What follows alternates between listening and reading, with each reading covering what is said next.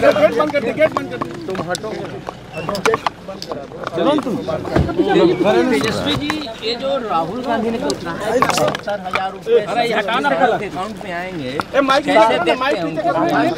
BJP बोल रही है जुमला है कल हम लोगों ने राहुल गांधी जी का प्रेस कॉन्फ्रेंस सुना।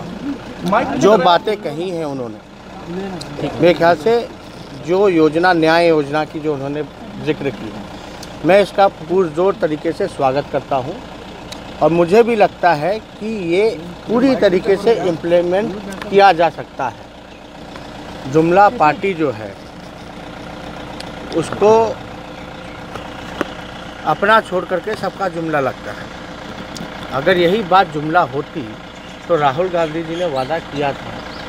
मध्य प्रदेश के लोगों से, छत्तीसगढ़ के लोगों से कि किसान का कर्ज माफ़ करने का काम करेंगे। दस दिन का समय मांगा था, लेकिन दो तीन दिनों में ही उन्होंने कर्ज माफ़ी करने का काम किया।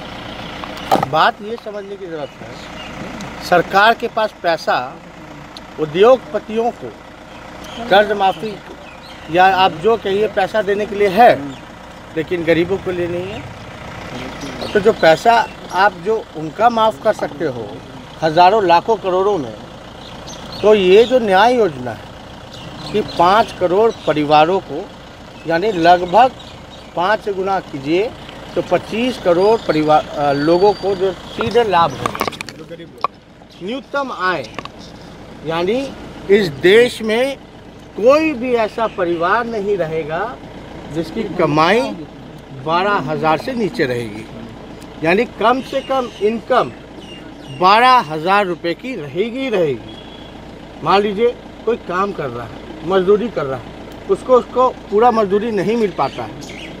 मान लीजिए छः हज़ार कमा रहा है एक परिवार तो उसका जो गैप जो होगा, बारह हज़ार करने में, वो जो होगी न्याय योजना के तहत, जो सबसे गरीब परिवार हैं, जो बीस, जो सबसे जो गरीब परिवार हैं, बीस परसेंट, उनको जो है ये लाभ मिलेगा।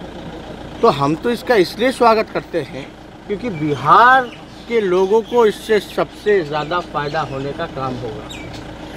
बिहार पिछड़ा राज्य है, गरीब राज्य है, यहाँ गरीबी ज़्यादा है, बेरोजगारी ज़्यादा है तो हमको लगता है कि सीधे सीधे इसको सबसे ज़्यादा अगर किसी हिंदुस्तान में किसी राज्य को फ़ायदा होगा तो वो बिहार राज्य होगा। रविशंकर भी आए हैं। और आरपी के जो रविशंकर और आरपी सिंह और आपस में उलझ गए मारा पीटी हो। गई झंडे दिखलाए आपको गए क्या लगता है कि क्या स्थिति हो रही है ये?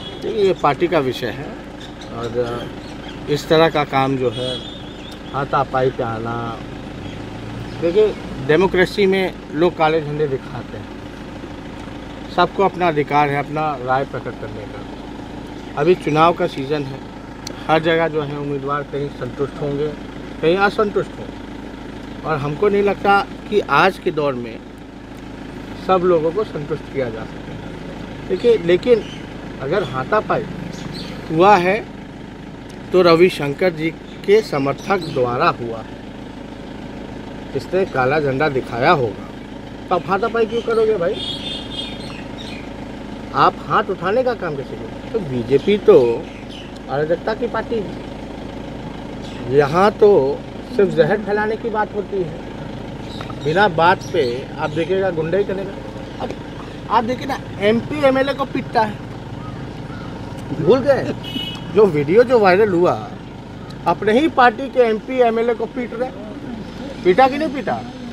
ये तो सिर्फ़ बीजेपी में देखने को मिलता है। तो कौन सी बड़ी बात होगी कि कार्यकर्ता ही कार्यकर्ता को पीट रहे तो ये पार्टी देखिए एकदम से नकारात्मक पार्टी है। और जिस तरीके से इनका जो विचार है, गांधी के हत्यार जो रहे, उनको मानने वाले लोग हैं ये लोग तो जो गौट से हैं। तो और क्या ये लोग सीखेंगे? गिरिराज सिंह गिरिराज सिंह के बारे में क्या कहेंगे? लगातार वो नाराज़ हो रहे बोले कभी लड़ेंगे कभी नहीं लड़ेंगे बेगूसराय हम हम इसमें क्या नहीं नहीं बेगूसराय दरभंगा दरभंगा की सीट फंस रही है? दरभंगा की सीट क्या फंस रही है? मदन दरभंगा की सीट अरे हमारे पार्टी का भी अनाउंसमेंट कहाँ हुआ है? दरभंगा सीट को लेकर मदन मोहन झा भी कह रहे हैं पता चल जाएगा कौन है। स्टार प्रचारकों की सूची बन उसमें मीसा भारती का नाम नहीं है। भैया कौन से फ़ेज़ में है चुनाव? छठा फ़ेज़ में है। हमारे पार्टी में निर्णय लिया गया कि अगर जो छठा, सातवां फ़ेज़ के जो अगर लोग रहेंगे तो कम से कम ये बात आएगी कि जो उम्मीदवार हों, जो भी कैंडिडेट हैं, मान लीजिए पाटलिपुत्रा से तो जो तीन चार संभावित जो उम्मीदवार होंगे, मान लीजिए बक्सर का चुनाव हो या पाटलिपुत्रा का चुनाव हो, अगर संभावित उम्मीदवार होंगे तीन चार तो कम से कम उनका अभी जो है नाम रोक दिया जाए। और अमेंडमेंट तो कभी भी किया जा सकता है। तो ये हम लोगों ने विचार किया है, ताकि उसके जगह पे, क्योंकि जो भी उम्मीदवार रहेगा तो कॉन्स्टिट्यूंसी में रहेगा। कॉन्स्टिट्यूंसी में रहेगा तो पूरी जगह पर प्रचार नहीं कर पाएगा।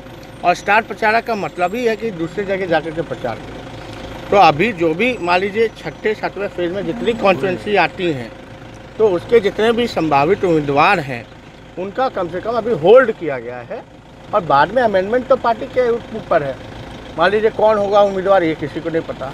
कौन नहीं होगा कौन होगा नहीं होगा ये तो लिस्ट आने के बाद पता चलेगा। कांग्रेस को लेकर के अब लगातार विवाद चल रही है। आपसे जैसे दरभंगा सीट को लेकर के और जो कई सीटें हैं कांग्रेस का कोई विवाद नहीं है सब कुछ तय हो चुका है। कल मदन हम लोग सब लोग तैयार है। सीट को नहीं कांग्रेस का अपना प्रक्रिया है। नेशनल पार्टी है उनका अपना जो ऑर्गेनाइजेशन स्ट्रक्चर जो है, उसके तहत जो होगा, वो होगा। मेरे ख्याल से देखिए, दो फ़ेज़ तक का तो हम लोगों ने कर दिया। अब हम लोगों की कोशिश है कि बाकी के बच्चे जितने फेजेज हैं, कोशिश रहेगी कि कौन कहाँ, किसने सीटों पर लड़ेगा, अगले बार में ये भी तय कर।